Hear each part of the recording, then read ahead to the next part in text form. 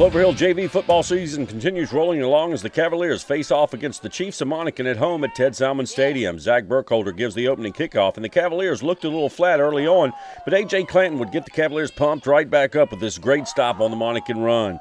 Marcus Jackson, L.T. Thomas, and Frankie Snyder made stout defensive stops, but a pass interference penalty put the Chiefs on the goal line where they took advantage and scored the touchdown, adding on the extra point.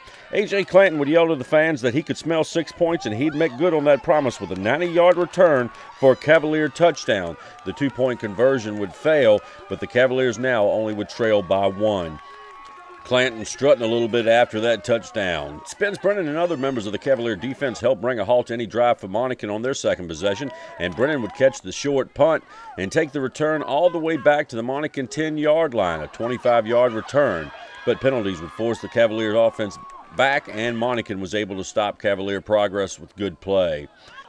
The Monacan offense now trying to make their way downfield, but again, the stops by LT Thomas, Dakota Thistle, and Wolfgang Golke were slowing their advance as play moved into the second quarter. The Chiefs would try the fake field goal, but were unsuccessful, and Clover Hill would end up taking over on downs.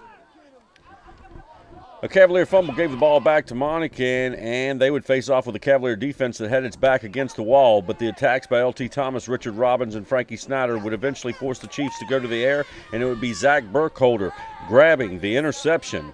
Clover Hill made little progress on their possession, and Dakota Thistle would punt it back to Monacan. Frankie Snyder was not helping the Chiefs' efforts on this possession. A.J. Clanton was keeping his end of the Monacan run in check. And Richard Robbins, Zach Burkholder, and Bernard Clark stopped the final plays of the half, the Chiefs leading 7 to 6. The Cavaliers came out for the second half looking more serious about their game, and the kick return by Clanton put the quarterback Josh Bailey in good field position. And Bailey would add to that yardage, knowing the Cavaliers needed to put some points on the board. He would scramble up the middle, turning a loss into a big gain. Bailey always a threat when he scrambles and breaks frees. Coach Brown and Conklin would yell in plays to their offense, and they'd make the call on A.J. Clanton. And a few plays later, Clanton would find a big hole provided by his offensive line. He'd take it up the middle and score another Cavalier touchdown. Again, the Cavs come up short on the extra point conversion.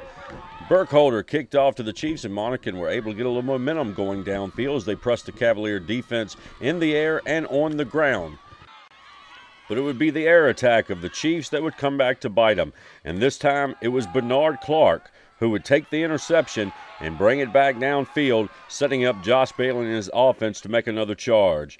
And a Clover Hill touchdown would ensue as Bailey connects to Chris Smith with Smith taking it down the sideline and in for a Clover Hill touchdown as Bernard Clark and his other teammates cheered him on, watching their teammate capitalize on Clark's interception. The Cavs miss out on the extra point attempt but lead 18 to 7. Clover Hill kicked back to the Chiefs who had started their drive off in good field position, and again the air attack of the Chiefs turned against them. This time Zach Burkholder picking off the pass to reclaim the ball for the Cavaliers, and the Clover Hill offense would move down the field with help of run plays with great conviction like this one from Mickey Haynes as he drags the Monacan defenders downfield with him. Then the pass from Josh Bailey to Travis Tunstall moved the Cavs even further downfield and the teams into the fourth quarter. The Cavaliers were helped even more on their drive with a pass interference penalty, followed by an unsportsmanlike penalty from the Monacan sideline.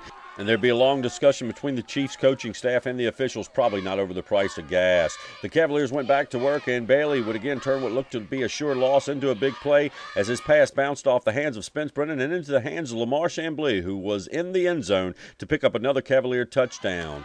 Monacan would get the ball back with the time running against them, but the Cavalier defense was still hanging tough and were keeping the Chiefs in check with solid plays. Jesse Moore here making the takedown behind the line of scrimmage with the assist of L.T. Thomas. Coaches Brown and Conklin were relaying plays to the defense. Their young Cavaliers would not disappoint as Zach Burkholder picked off another pass to take the ball back for the Cavaliers. Monacan's frustration was starting to show. Clover Hill continued to run time off the clock with plays like this pass from Bailey to Isaiah Finney off the block from Matt Kilpack. Monacan got the ball back needing to do something, but Chris Smith would steal the pass away. Monacan got one more shot but could not do anything with it, and the Cavaliers win 24 7 over the Chiefs.